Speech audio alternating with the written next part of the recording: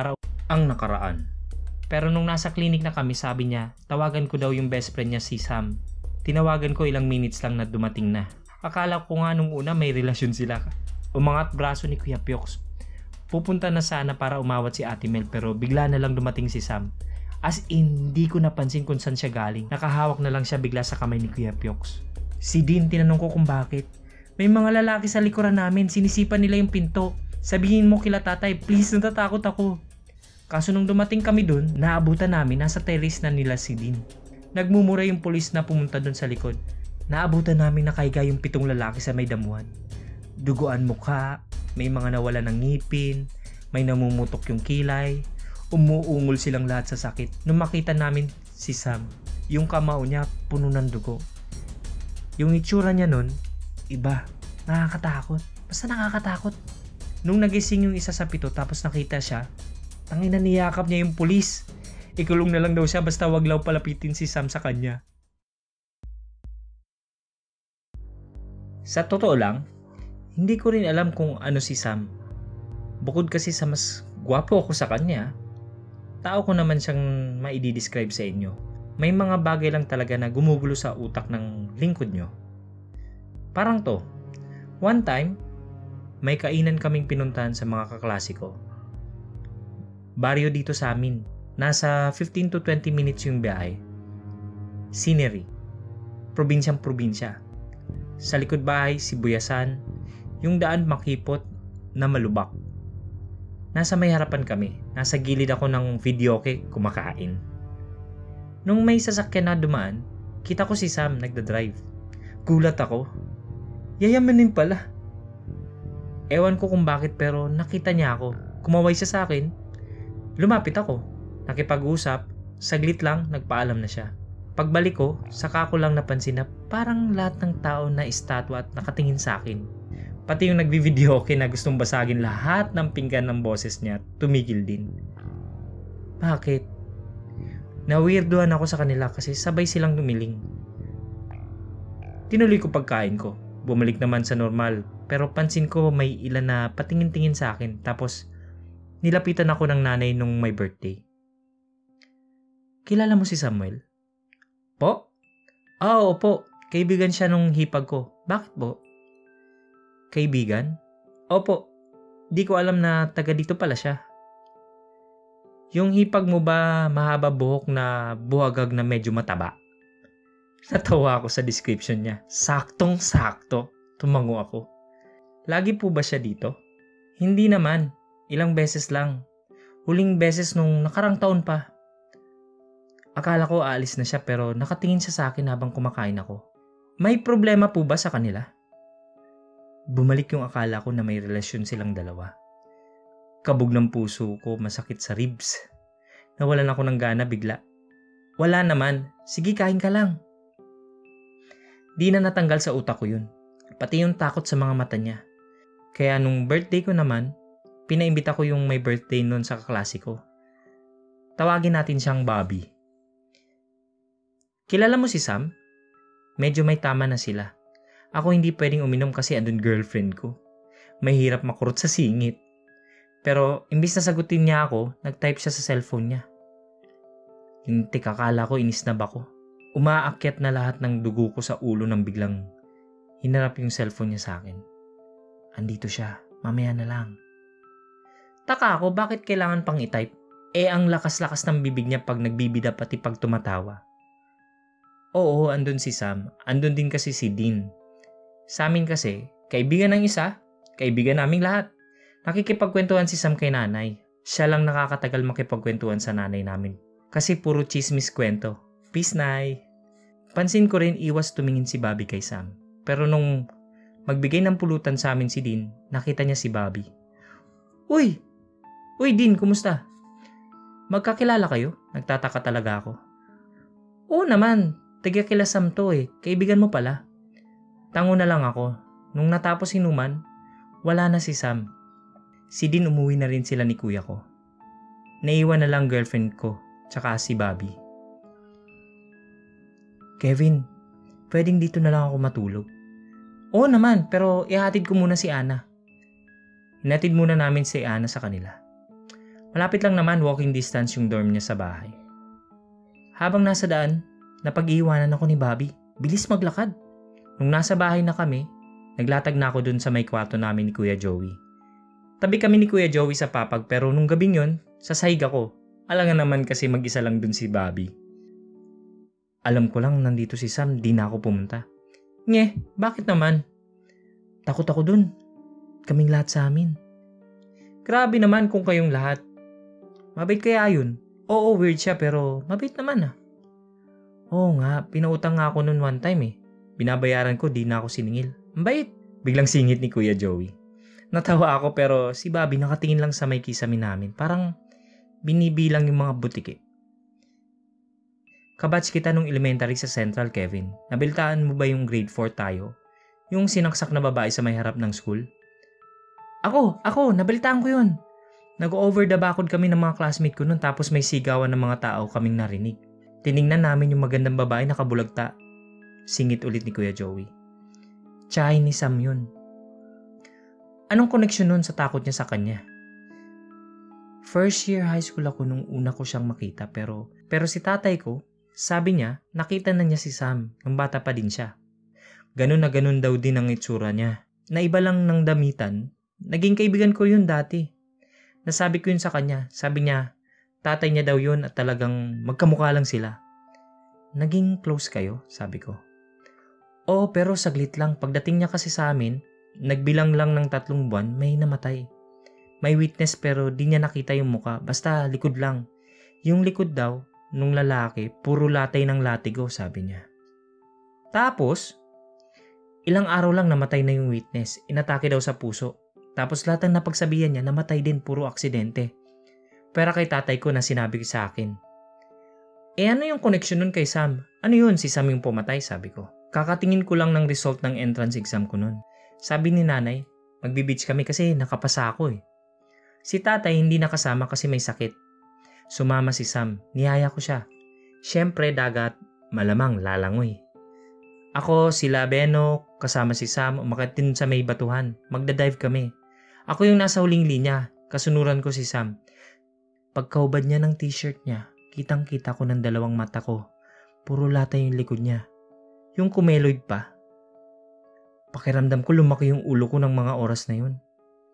Hanggang ngayon habang nagtatype ako, sabi pa ni Bobby, lumabas sa investigasyon ng mga pulis na yung unang namatay sa kanila, yun ang pumatay sa tiyain ni Sam. Ang dahilan daw paghihinalang mangkukulam.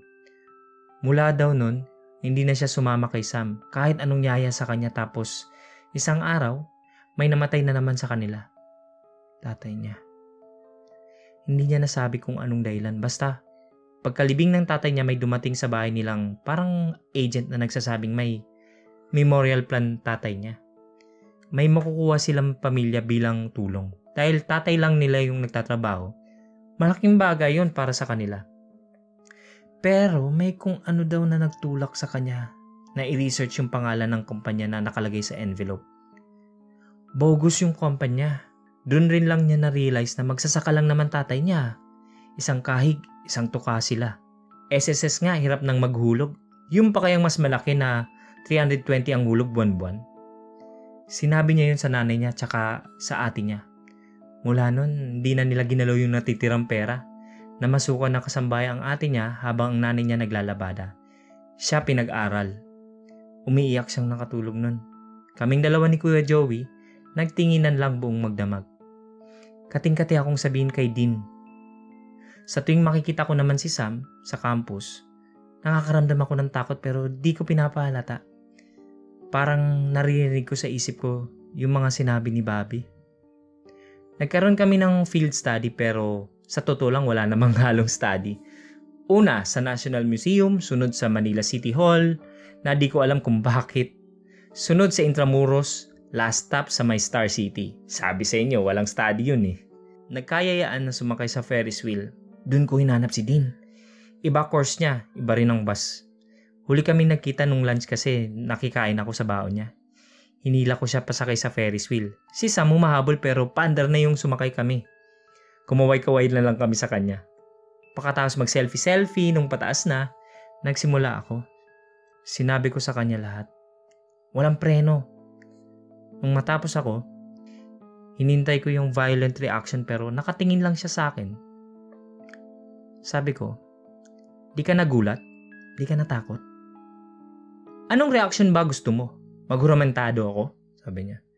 Wala, gusto ko lang malaman mo. Gusto mong iwasan ko rin siya? Katulad ng sinabi nung nanay ni Bobby nung unang beses akong makapunta sa kilasam? Malay, malay mo kasi. Malay mo siya yung pumatay? Hindi ako nakasagot.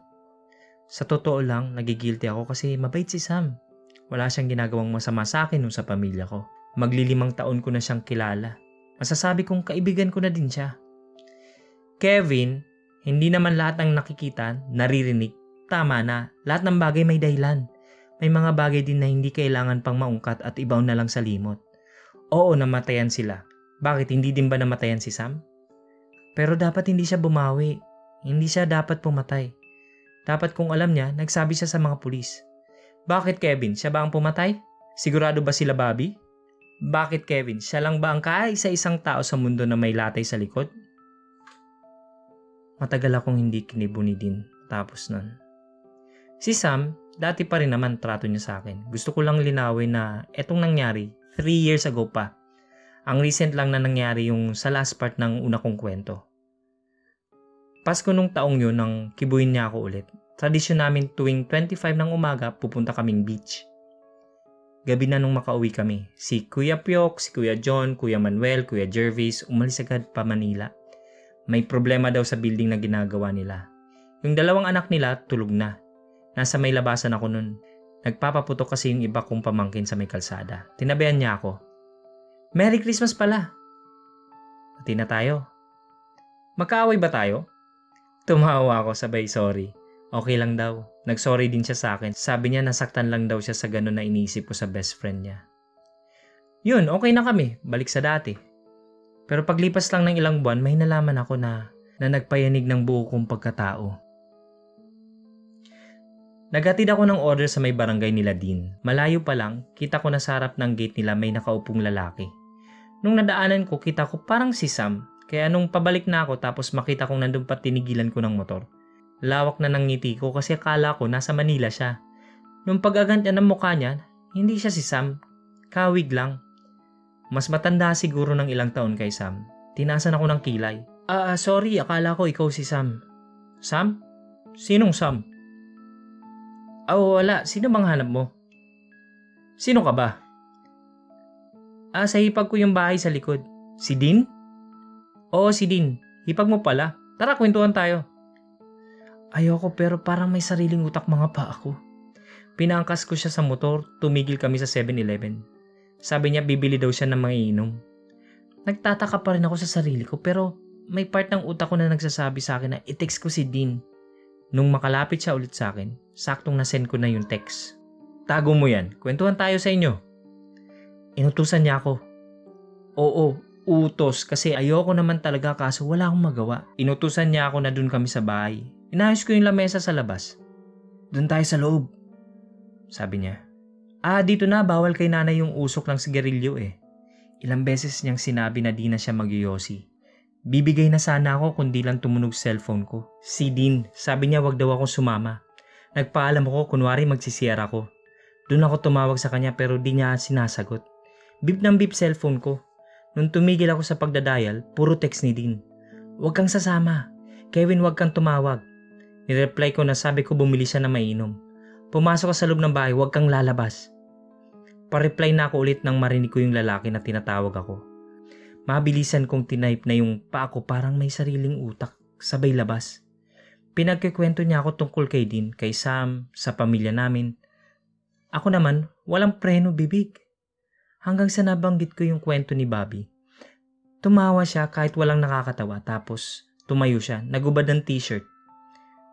Napalunok ako nung makita ko na puro lata yung katawan niya.